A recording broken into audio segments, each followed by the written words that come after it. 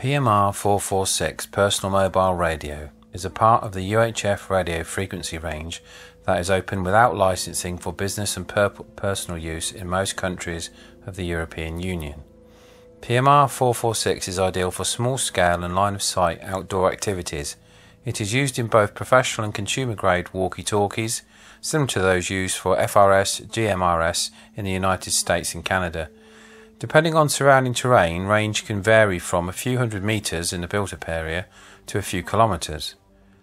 Formulation and plans for the band started in April 1997 when the European Radio Communications Committee decided on a 446 MHz frequency band to be used for the new radios. In November 1998, ERC Decision 9825 allocated frequency band 446.0 to 446.1 MHz for analog PMR 446. Another two decisions established license exemption for PMR 446 equipment and free circulation of the PMR 446 equipment. The first country which introduced these frequencies for license free use was Ireland on the 1st of April 1998. The United Kingdom introduced PMR 4466, 446 service in April 1999. In October 2005, ECC Decision 05/2 added unlicensed band 446.1 to 4.6.2 MHz for use by digital DMR/DPMR equipment.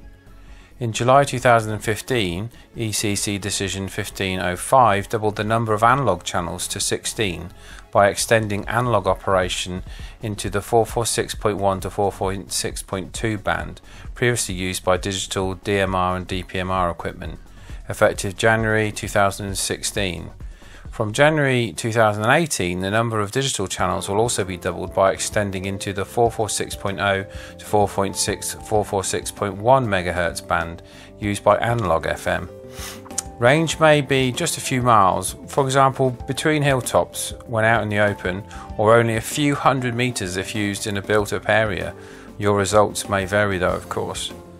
A current record to be noted is a 333 mile, 535.5 kilometre handset to handset transmission from Blyth in the United Kingdom to Almere in the Netherlands. PMR 446 radios use frequencies that in Australia, the US, and Canada are allocated to amateur radio operators. PMR 446 radios can only be used in those countries by licensed amateur radio operators. The conflicting allocations have been something of a nuisance to amateur operators due to the use of the equipment by European tourists. Instead, the US and Canada, Canada uses the FRS system, which provides a similar service on different frequencies around 462 and 467 MHz. These frequencies are allocated to the emergency services in Europe, notably the fire brigade in the UK, the police in Russia, and commercial users in Australia. This is why I always stress on my channel that people change the stock frequencies these cheap Chinese radios come with. PMR 446 compliant equipment may be used anywhere throughout Europe. PMR 446 covers band 446 to 446.2 MHz, and PMR 446 radios must have a fixed antenna and a maximum ERP of no more than 0.5 watts. Radios may now have removable antennas in some countries as long as the ERP does not exceed 500 milliwatts, for example in the UK. So it might legally be possible to program some of the cheap Chinese radios in low low power mode and use them on the PMR bands, even though I am sure many do already. However, you may still be committing an offence if you operate equipment including equipment that meets the requirements of the R&TTE directive within 446.0 to 446.2 MHz that does not meet the PMR 446 license exempt operation requirements. The general ECC decision, however, still requires integral antennas and the actual implementation varies between different countries. If you're not sure, just buy certified equipment. PMR 446 users must know that their radios are only license exempt if they are built and operated within the conditions of the exemption regulations. If modifications are made to the equipment, such as adding an antenna connector, the overall maximum ERP or other technical parameters must not exceed the permitted levels set out in the interface requirement. You should also be aware, especially when buying in the second hand market, that equipment that has been approved for license use in the past does not necessarily mean that it is suitable for conversion for PMR 446 license, license exempt use.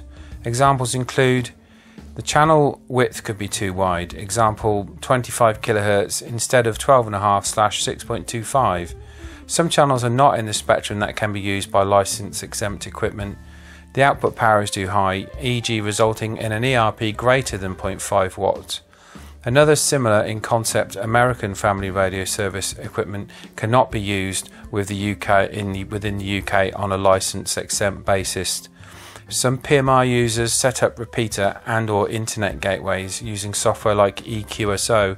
However, please note that PMR 446 equipment that is designed for base station use or mobile equipment that is configured as a base station, e.g. as an internet gateway, is unlikely to meet the license exempt operation requirements, so operate with caution. Analog PMR uses 16 FM channels separated by 12.5 kHz from each other. Per regulation, maximum power, like FRS, is 500 milliwatts ERP, and equipment must be used on a mobile basis. CTCSS is usually used, with more upmarket models also featuring DCS and or fixed carrier voice inversion, which many think is not legal, but uh, it is.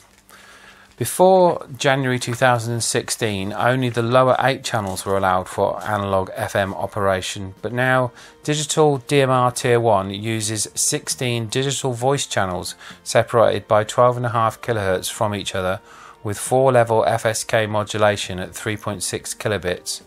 Before January 2018, only the higher 8 channels were allowed for digital TDMA operation. A quick look on eBay or the many Chinese marketplace websites such as AliExpress or GearBest will show a wide array of radios available, ranging from very cheap to relatively expensive. Many come in sets of four or two and all offer varying features and abilities.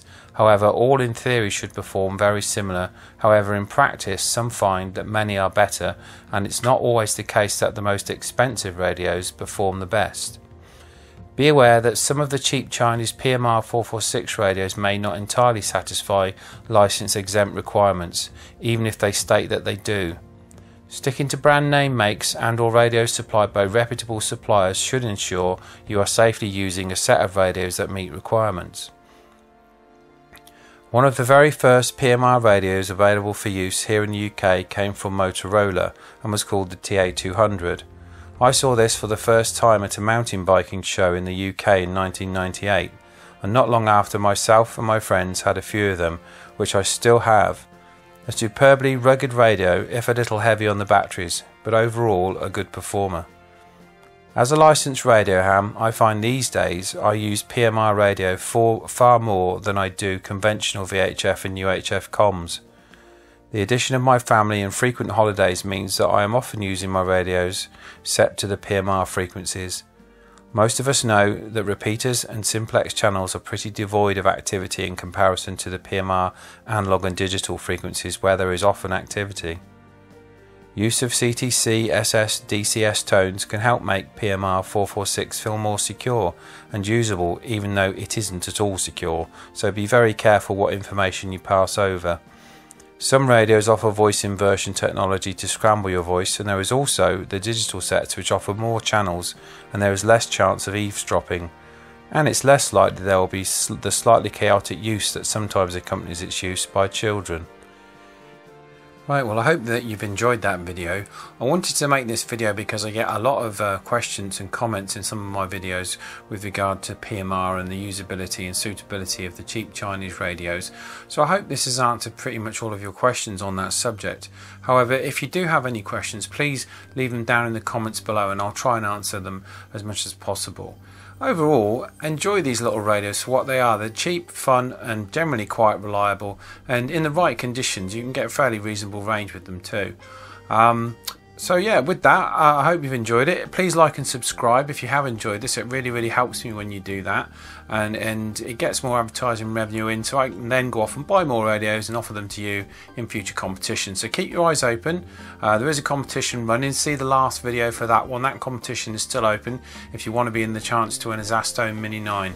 Okay, I'm going to shoot off. The next test that I do for you will be of two new PMR 446 radios, which I'm going to test alongside uh, a couple of cheap Chinese radios out in the field and do a little bit more, uh, try and shake the testing up a bit, do something a bit different, try and change things a little on the channel.